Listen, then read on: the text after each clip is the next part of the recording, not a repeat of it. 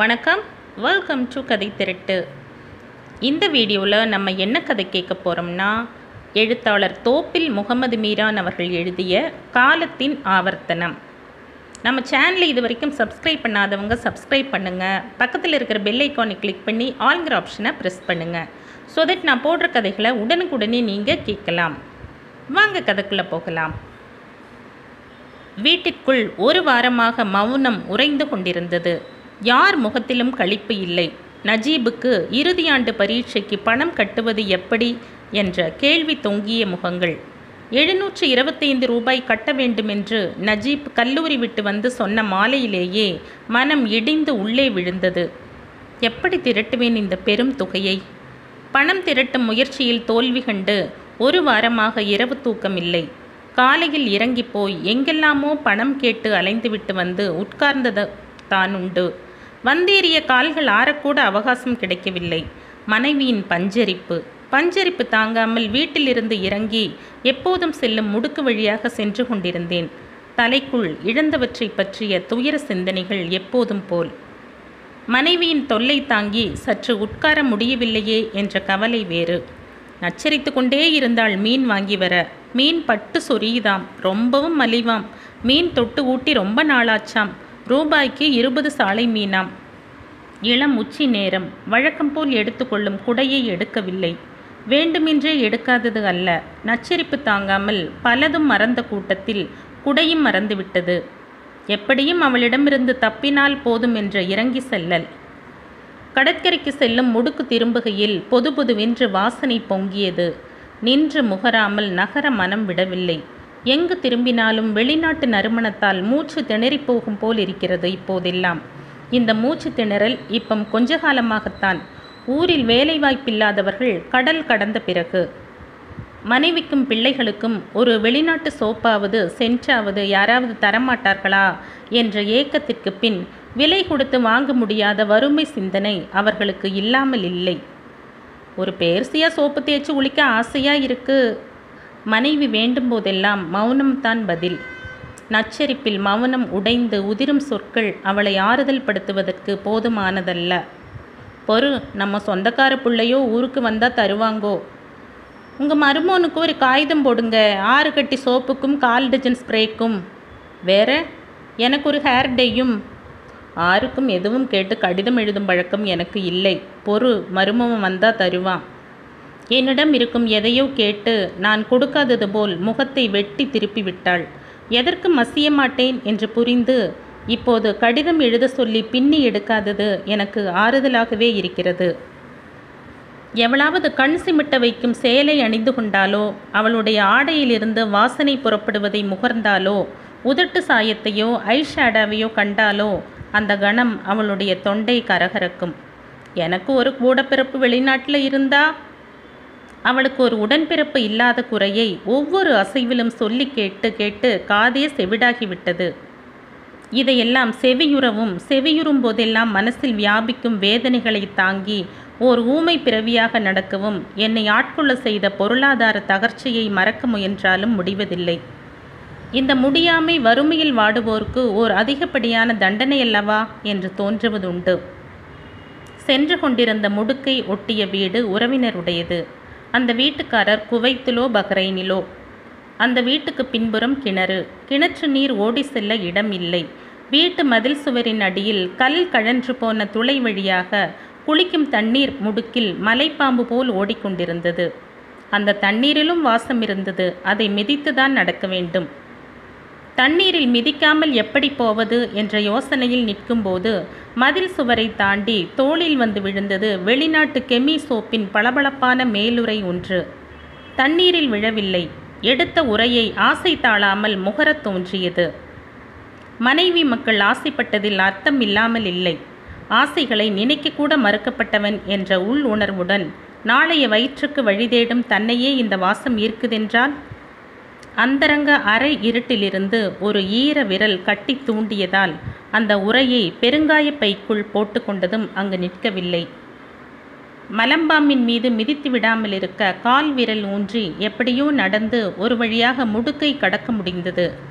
கடற்கரைக்கு செல்லும் வழியில் வைத்து உரையை மடியில் கட்டியதை நினைக்கும்போது அது ஒரு தரக்குறைவான செயலாக இருந்ததென்று இப்போது தோன்றுகிறது.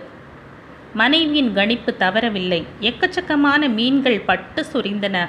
விசாரித்தவர்களிடமிருந்தெல்லாம் வந்த ஒரே பதில் மலிவுதான் ரூபாய்க்கு இருபது சாலை. இந்த மலிவு நேரத்திலாவது மீன் கூட்டி உண்பதற்கு நாக்கு குறுகுறுத்தது. சுளகில் கூட்டு வைத்திருந்த மீன்களை பார்த்து விலை கேட்டேன். விலை சொல்லும் முன் மீன்காரி என்னை ஏறிட்டு பார்த்தாள். அவளுடைய மூக்கு துவாரம் அகலப்படுவதை கவனித்தேன். விலை சொன்னாள் ஒரு ரூபாக்கு ஒரு சாலை. நடுங்கிவிட்டேன். மலிஞ்சு மண்ணேறி கிடப்பதாக எல்லோரும் சொன்னார்கள் இவளேன் இந்த கொள்ளை விலை சொல்கிறாள் ஏன் ரோசி கீரும்? பஞ்சம் குத்தார வாண்டிட்டு போய் பொறிச்சு தின்னுமே? அவளுடைய மூக்கு துவாரங்கள் அகலப்பட்டதின் பொருள் என்னவென்று யோசித்து நிற்கையில் அவள் ஒரு குண்டை தூக்கி போட்டாள். இப்போ பேர்சியக்காரங்கோ மீனுக்கு விலை கேட்காட்டாங்கோ மடியிலிருந்து மனம் பரப்பிய உரை என்னை அவள் கண்களுக்கு உயர்வாக காட்டியது. அவள் முன் நான் எனக்குள் குறுகி நின்றேன். அவள் சொல்லும் தீ விலை கொடுத்து வாங்கும் சக்தியில்லாத தவிப்பு எனக்கு. என்றும் போல இன்றும் ரசமும் துவையலும் தான். திரும்பி நடக்காமல் வேறு வழியில்லை. நேற்று வரை பார்த்தாலும் பாராமல் நடந்தவர்கள் எல்லாம் ஆசை குன்றிப் போய் திரும்பி சென்று கொண்டிருந்த என்னை கடந்து சென்ற கணம் அவர்களாகவே கைதட்டி கூப்பிட்டு மகன் போசியாவிலா? என்று நலம் விசாரித்தனர். அதன் அகப்பொருள் முதலில் எனக்கு பிடிபடவில்லை. ஏதோ ஒரு புரியாமை எனக்கு சுற்றும் வலை பின்னி சிக்க வைத்தது. வெறும் கையும் வீசிய கையுமாக படியேறிய போது மனைவி சேலை முனையை இடுப்பில் சொருவினாள். அது படைவாளை உருவி எடுப்பதாகும். அவளுடைய அடிப்பாவடை விளிம்பு அவள் கால் மூட்டை தொட்டிருந்தது. என்ன வெறும் கையோட வாரியோ? கேள்வியே அதட்டலாகவும் எட்டி மிதிப்பதாகவும் இருந்தன. சீறி வந்த அவளுடைய முக முகத்திலிருந்து சீற்றம் விலகியதும் உடன் அவள் புன்னகைத்ததும் ஒரு நொடி இடையில் அவளிடத்தில் கண்ட இந்த அற்புத மாற்றம் புதிராகவே இருந்தது முதலில். கொண்டாருங்கோ கை நீட்டினாள். மீன் வாண்டல கொள்ள வெலை. பரவாயில்லை பேர்சியா சோப்பை கொண்டாருங்கோ. சோப்பா? மடியில் இருந்த உரை நினைவுக்கு வந்தது. என்ன சொல்வதென்று தெரியாத குழப்பமாகவே இருந்தது. வெற்று உரையை எடுத்தபோது அவள் முகத்தில் கரடி ஓடித் திரிந்தது. வெறித்து பார்த்தாள் என்னை. அந்த பார்வை அனலில் தோல் கொப்புளங்கள் உண்டாயின. பெண் முகத்திற்கு இவ்வளவு கவர்ச்சி அழகையும் இவ்வளவு நடுங்கு செய்யும் சீற்றத்தையும் கொடுத்த படைப்பாளியின் படைப்பு திறனை பாராட்டமில் இருக்க முடியவில்லை. இன்னைக்கும் வெறும் ஜோறு தின்னுங்கோ. சொருகியிருந்த சேலை முனையை எடுத்துவிட்டு கொண்டு போன போக்கு உலகையே வெறுத்துவிட்டு போவதாகவே இருந்தது. ஏதேனும் கிணற்றிலோ ஆற்றிலோ குதிக்கப் போவதாக இருந்தது. இப்படியான எதிர்வினைகளையெல்லாம் கண்டபோதும் உரையை வெளியே வீச மனம் ஒப்பவில்லை. கூட்டில் உள்ள நெளிவு சுழிவுகளை எடுத்து சோப்பு வடிவத்தில் கூட்டை சரி செய்து காட்சி பொருள்கள் இல்லாத கண்ணாடி உடைந்து போன ஷோகேஸில் பத்திரப்படுத்தினேன். வெளிநாட்டு சோப்பின் உடலில் ஒட்டியிருந்த உரையையாவது முகர்ந்து கொண்டிருக்கலாம் என்ற சின்ன ஆசை. சகோதரி பையன் பஹ்ரைனுக்கு செல்ல யாத்திரை கேட்க வருகையில் நிறைய விதவிதமான நாற்காலிகளும் கண்ணாடி டீப்பாய்களும் அலங்காரமாய் கிடந்தன. முந்தைய பெரிய வீட்டு முகப்பில். இப்போது இந்த சின்னஞ்சிறிய வாடகை வீட்டில் பழைய ஒரு நார்க்கட்டில் மட்டும் வருவோர்க்கு உட்கார. அதில் உட்காரும் போதெல்லாம் இழந்துவிட்ட செழுமைகளையும் அவை வீட்டை விட்டு வெளியேறிய சால்களையும் தற்போதைய வறுமையில் ஒரு நாளை நகர்த்தி விடுவதையும் நஜீபை படிக்க வைக்கப்படும் சிரமங்களையும் பற்றிய நினைப்பு பகலை இரவிலும் இரவை பகலிலும் கொண்டு விடுகிறது. நார்க்கட்டிலில் முட்டுக்கட்டி உட்கார்ந்து கொண்டிருந்த போது ஜன்னல் கம்பி வழியாக வீட்டின் முன்பக்கம் உள்ள தென்னந்தோப்பு பார்வையில் பட்டது. தன்னிடமிருந்து அந்நியப்பட்டு போன அந்த தென்னந்தோப்பில் குலைந்து நிற்கும் தெங்கின் மண்டையில் பார்வை ஊன்றி கொண்டிருக்கும் போது நஜீப் முன்வந்து நின்றான். நாளை கடைசி நாள் பணம் கட்டலைன்னா பரிச்சு எழுத முடியாது. நஜீபுடைய பார்வையில் எதிர்பார்ப்பும் ஏமாற்றமும் முயங்கி இருந்தன தென்னமண்டையிலிருந்து பார்வையை பிடுங்கி திருப்பியதும் என் ஏமாந்த பார்வை அவனை தளர்த்தி விட்டது போலிருந்தது எனக்கு. அப்படி ரொம்ப நேரம் அவனை பார்த்து கொண்டிருக்க முடியாதபடி அவன் முகம் வாடி வெளிரி போயிருந்தது. கிடைக்கலையா? இல்லை என்று சொல்ல நான் எழவில்லை. தலையசைப்பில் தோல்வியை சாடை சொன்னபோது அவன் அப்படியே சிலையாய் நின்று கொண்டிருந்தது. என் ஈரல் குலையை பிழிந்து விட்டது. கேட்காத இடமில்லை. இனி ஆறுட்ட போய் கேட்டு பார்க்க. பார்வையை அவன் முகத்திலிருந்து விலக்கி பழையபடி தென்னமட்டையிலேயே ஊன்றிக் கொண்டிருந்தேன். அங்கு நிலவிய நிசப்தத்தை அவனே உடைத்தான். ரஷீத் மச்சான் வெளிநாட்டிலிருந்து வந்து ஒரு வாரம் ஆச்சாம்? வந்திருக்கானா? சந்தோஷமாகவே இருந்தது. நாயாய் அலைந்ததற்கு ஆண்டவனாகவே ஒரு வழியை காட்டிவிட்டான் போல் தெரிகிறது. மச்சான் விட்டு கேட்டு பாருங்கோ நாளை கடைசி நாள். நஜீப் துடிப்பதை கண்டபோது அப்படியே இருந்துவிட மனம் வரவில்லை. அவனிட்டையும் கேட்டு பார்க்கலேன்னு வேண்டாம்ப்பா போய் கேட்டு பார்க்கேன். புறப்படும்போது மனைவி கஞ்சி குடிக்க சொன்னாள். சீக்கிரம் புறப்பட்டு போனால் இரவு எட்டரைக்குள்ள பஸ்ஸுக்கு திரும்பி விடலாம் என்ற நினைப்பு இருந்ததால் கஞ்சியை நாடி சுணங்கவில்லை. குடை எடுத்துக்கொண்டு இறங்கும்போது மனைவி நினைவூட்டினாள். சோப்பும் சாரியும் ஸ்ப்ரேயும் கேட்டு வாங்குங்கோ நம்ம புள்ளதானே? அவள் சொன்னதை கேட்டது பாதி கேட்காதது பாதி என்று குடையை விரித்து கொண்டு ஒன்னே காலுக்குள்ள பஸ்ஸை எட்டி பிடிக்க நடையை துரிதப்படுத்தினேன். எப்பாடுபட்டாவது இந்த ஆண்டு பரீட்சை எழுதிவிட்டால் நஜீபுக்கு எங்காவது ஒரு வேலையை வாங்கிவிடலாம். அவனுடைய வருவாய் ஒரு சிறு தாங்கலாயிருக்கும்.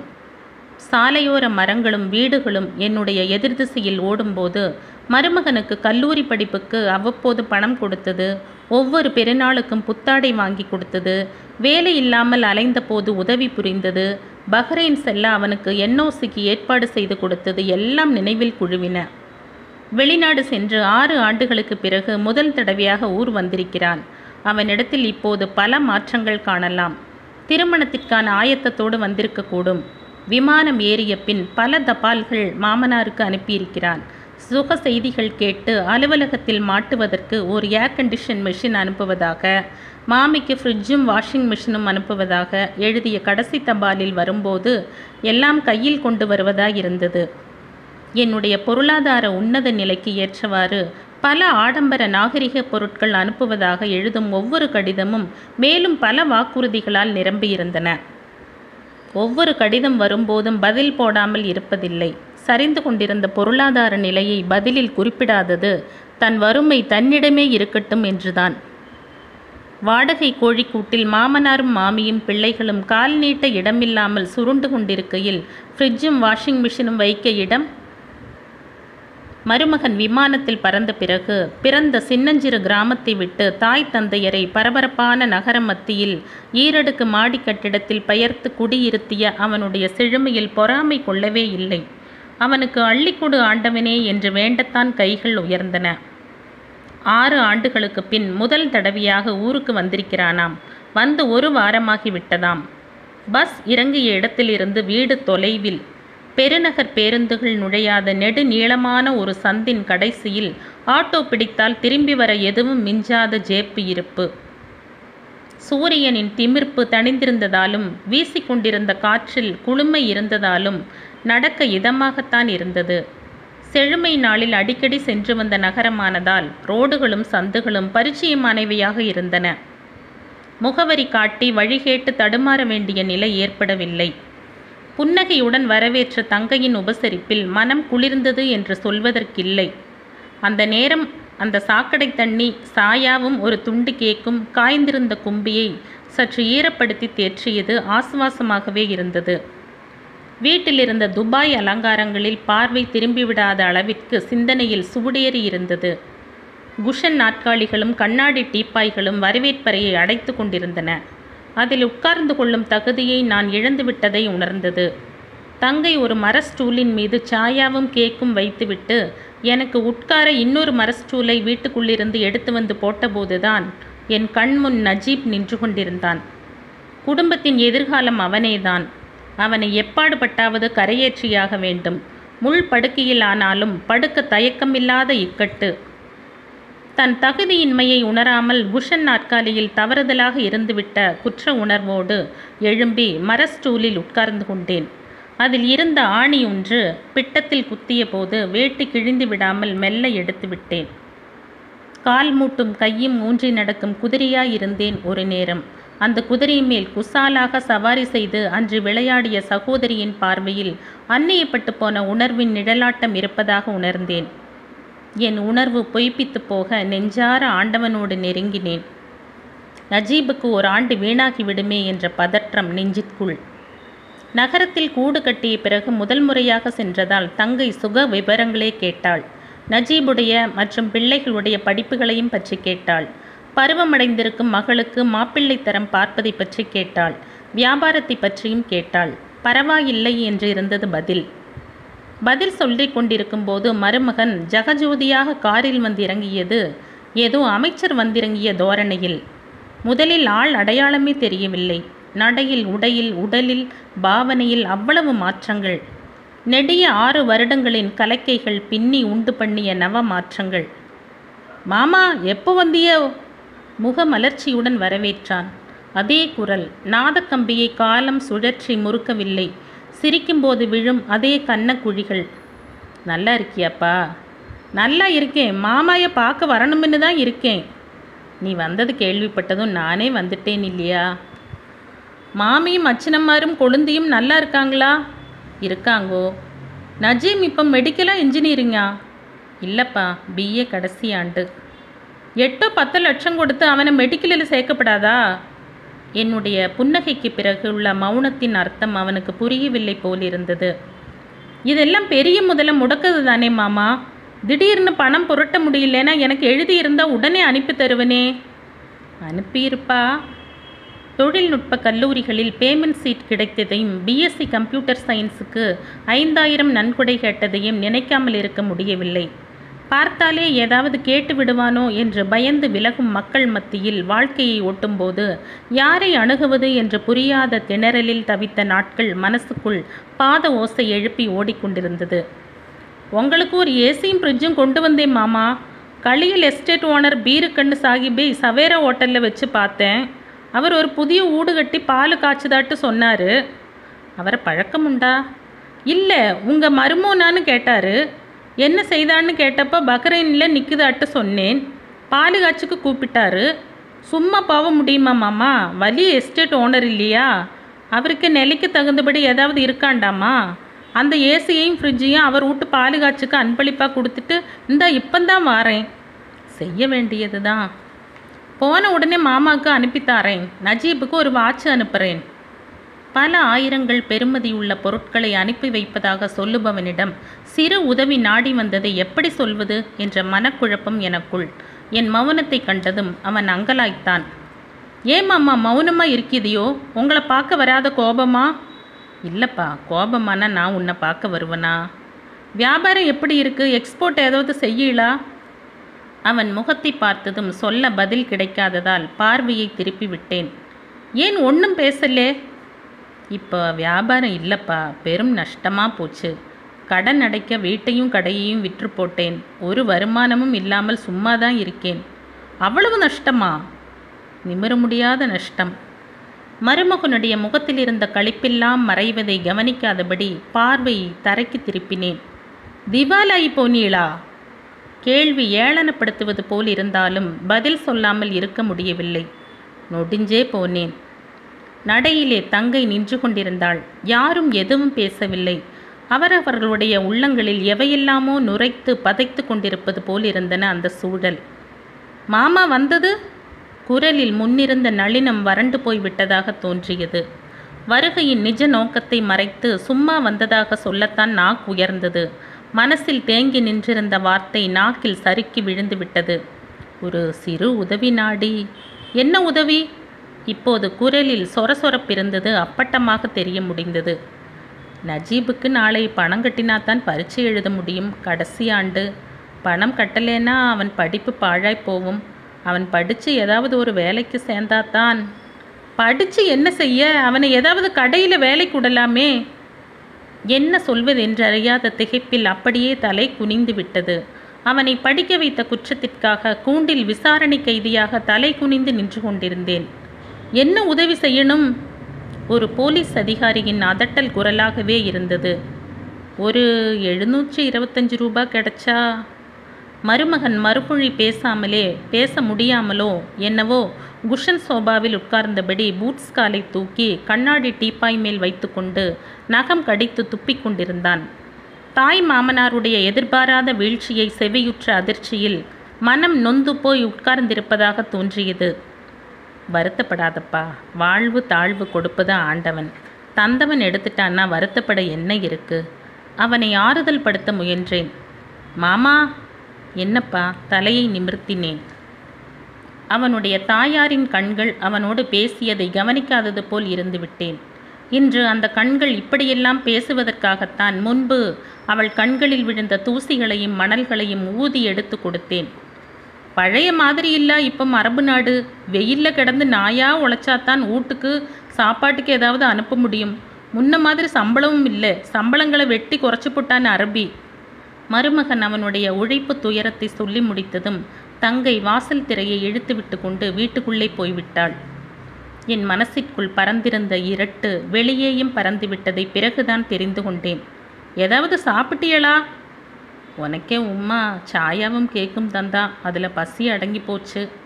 எட்டு முப்பதுக்கு கடைசி பஸ் வரும்போது பஸ் நேரம் கேட்டு தெரிஞ்சுட்டு தான் வந்தேனப்பா. பஸ் இறங்கி இருட்டை கீறினேன். வீட்டு ஜன்னல் கம்பி வழியாக முனகி எரிந்து கொண்டிருந்த ராந்தல் ஒளி முற்றத்தில் விழுந்து புற்காடுகள் மூடிக்கொண்டிருந்த நரம்பு தடத்தை காட்டியது. கால் சொடக்கு சத்தம் கேட்டதும் நஜீபே வந்து கதவை திறந்தான். அவன் பின்னால் மனைவி ஆவலோடு வந்து கேட்டாள் உள்ள என்னவெல்லாம் தந்தான்? மச்சான் ரூபா தந்துதா? கேள்விகள் சரங்களாக இதயத்தை தாக்கிக் கொண்டிருந்தன. கையில் எடுத்து சென்ற குடை மட்டும் இருப்பதைக் கண்டு மனைவி சோர்ந்து நின்றாள். வாப்பா அதல பாதாளத்தில் கிடந்து கை நீட்டி காப்பாற்ற கூப்பிடும் அவலக்குரலாக இருந்தது நஜீபின் கூப்பிடல். முன்னே கடைசி பரீட்சைக்கு கட்ட அறுபது ரூபாய் தருவார் இல்லாமல் உன் வாப்பாவின் கல்லூரி படிப்பு நின்று போனது உனக்கு தெரியாது. எனக்கே அதே அனுபவம் இப்போ உனக்கும். நாளை உன் மகனுக்கே படிப்பும் இதுபோல நிப்பாட்ட வேண்டிய சந்தர்ப்பம் வந்தாலும் நீ சோர்ந்து போகாதப்பா. இதெல்லாம் காலத்துக்கே ஆவர்த்தனம். மகனும் மனைவியும் உறங்கினார்களா? அல்லது ஏமாற்றங்களின் பாறை அழுத்தத்தால் உறங்காமல் கிடக்கின்றனரா? என்று கவனிக்க ஒவ்வாத மனநிலை. எப்படியும் அவர்களுடைய காலை விடியட்டும். உறங்காத என் கண்கள் கண்ணாடி உடைந்த ஷோகேஸில் சென்றன. அங்கு என் எதிரியின் கையில் இருந்து கொண்டிருந்த கூரிய வாள் பளபளத்து கொண்டிருந்தது. இதோடு இந்த கதை முடியுது. இந்த கதை உங்களுக்கு பிடிச்சிருந்தா லைக் பண்ணுங்கள் ஷேர் பண்ணுங்கள் சப்ஸ்கிரைப் பண்ணுங்கள் மற்றும் ஒரு இன்ட்ரெஸ்டிங்கான கதையோட அடுத்த வீடியோவில் சந்திப்போம். பை. Thank you.